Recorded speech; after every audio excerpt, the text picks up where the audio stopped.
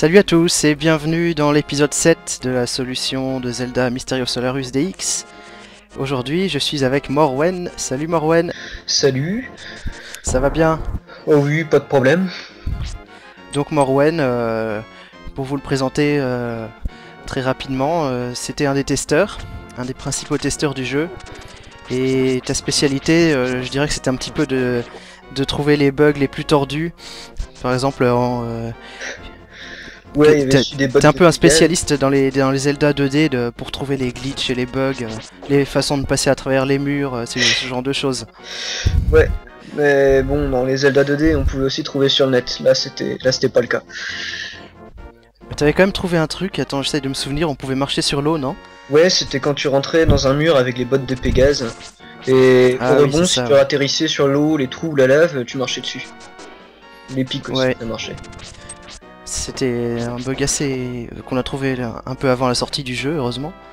Ouais, Parce que par exemple, quand on faisait ça, là on pouvait marcher sur l'eau, au lieu de se faire euh, noyer, quoi. Enfin, ouais. donc là, c'est pas gênant à cet endroit-là, mais si on le fait par exemple... euh, Euh, sur l'eau, ça Si. gênait pas trop, mais c'était surtout dans, sur, la, dans- sur la lave, dans les Ouais. grottes.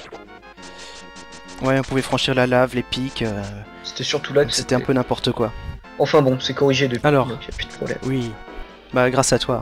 Parce que je sais pas si j'aurais trouvé ce bug là. bien, bien, bien. On avait fini le niveau 3. Donc maintenant qu'on a le grappin, on va pouvoir passer à la suite. Euh, Il y a une grotte qu'on peut déjà aller voir. C'était par ici. On peut Ouais. passer grâce au grappin.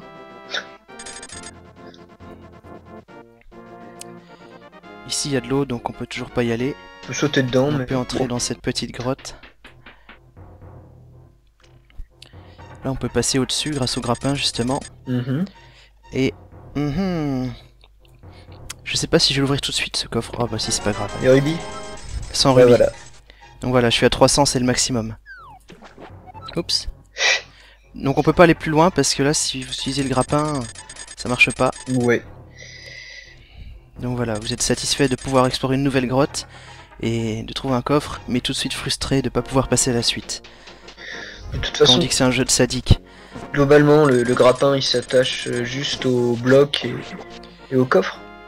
Euh, Et au bloc, au, au coffre et euh, aux choses qu'on peut soulever, oui, comme les, les pierres, les buissons et les vases. D'accord, parce que des fois ça dépend, il y a des blocs sur lesquels on pouvait s'accrocher et d'autres non. Enfin, Oui, parce que certains blocs sont purement décoratifs et d'autres sont des blocs qu'on peut pousser. Mais c'est vrai que graphiquement, on voit pas la différence. ah, d'ailleurs, euh, justement, je me souviens d'un petit problème qu'il y avait avec ce genre de bloc à un moment.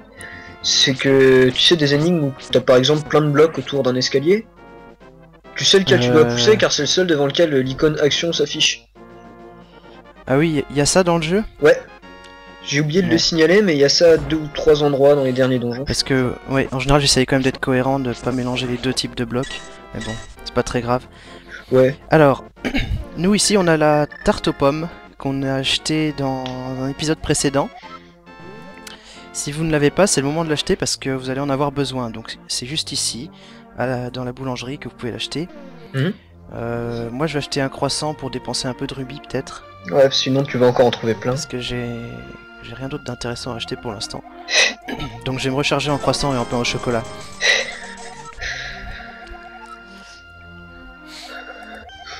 D'ailleurs, je vois que c'est marqué pain au chocolat et pas chocolatine.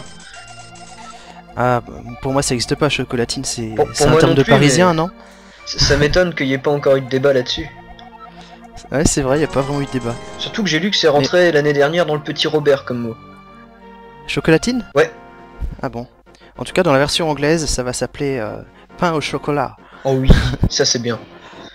Bah oui, il n'y a, pas vraiment de traduction. C'est vrai. Mais c'est souvent euh, comme ça pour la bouffe. Cho- chocolate bread, on pourrait dire, mais les, les traducteurs ont décidé de, De pas de garder pain au chocolat. Donc, utilisons le grappin pour passer ici. Mhm. On a encore droit à un petit coffre Les rubis avec des rubis. Ici, lui, on va lui parler juste après.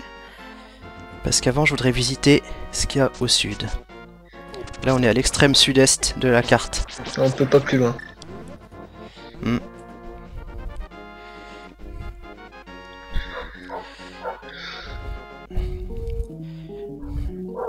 Donc ici c'est la boutique du lac. Euh, le mec il vend rien d'extraordinaire, mais c'est vraiment les moins chers. euh, si vous voulez acheter des bombes ou des flèches, c'est ici que c'est le moins cher. Ou même de l'énergie magique, si vous êtes en manque d'énergie magique, vous pouvez prendre une bouteille qui vous recharge toute votre jauge pour 25 rubis. Mais nous ce qui va nous intéresser, c'est ça.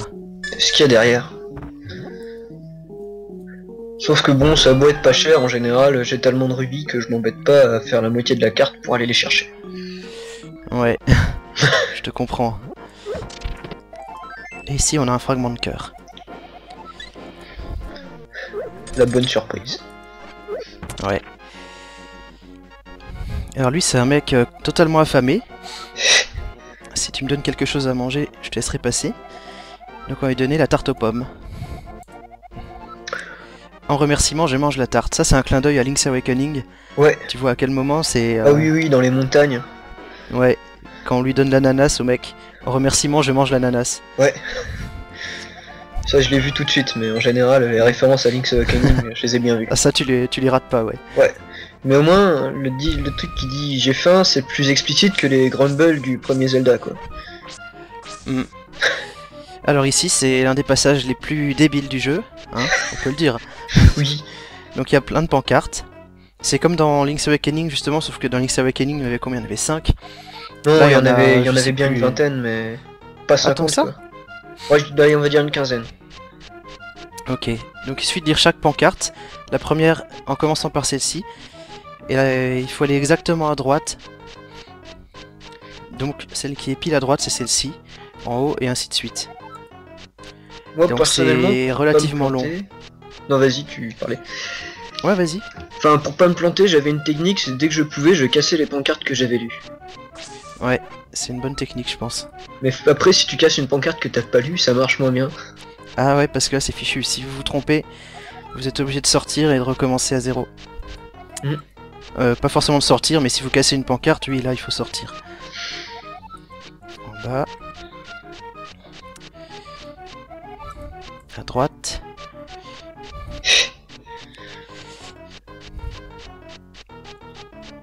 En plus, on marche dans l'herbe et ça nous ralentit.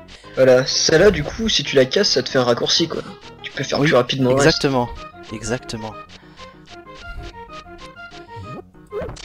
Alors je vais pas me gêner.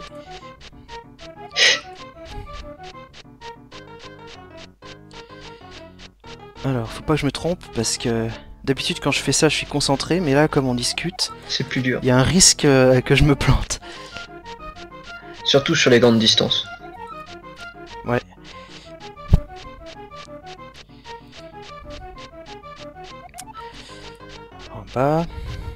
Pour l'instant, ça va. c'est interminable hein. Il faut surtout pas passer par l'entrée, sinon... On peut aussi, ouais, on peut sortir sans le vouloir parfois. Ouais, il y, a certains jeux encore, là ça va, parce que quand tu t'approches du bord de la map, au moins t'es pas attiré vers le bord de la map comme dans certains jeux. Ouais, Je sais plus c'est quel jeu où je passais mon temps à changer de map sans le vouloir, comme ça. Mais comme celui-ci est bien fait, y a pas de problème. t'es trop gentil. Oh, pas que. J'ai essayé de faire un Zelda aussi, et... je peux dire que celui-ci est bien fait.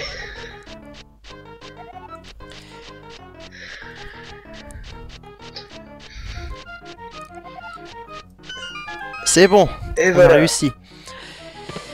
Et nous avons trouvé des lingots d'or. Ils brillent et ont une valeur inestimable. Ouais, concrètement parlant, il me semble que normalement, des rubis dans la vie réelle, ça vaut plus cher que des lingots d'or, mais... C'est vrai que des rubis dans, dans de nombreux mondes, c'est c'est beaucoup plus précieux que à Hyrule. Ouais, Donc ensuite, nous allons rendre visite à Billy le Téméraire. bon, C'est le mec le plus, le plus arrogant et le plus imbu de sa personne euh, du jeu. Mhm. Donc il faut le grappin pour aller jusqu'à lui. Mais on peut pas attraper le coffre, parce que si vous faites ça, vous tombez dans le trou, bien sûr. Voilà. Et on peut pas passer, on peut, on peut essayer de passer là, mais c'est impossible. Donc pour l'instant, on peut pas attraper ce coffre. J'espère que tu as quelque chose d'intéressant à faire si tu veux ainsi pénétrer dans ma caverne.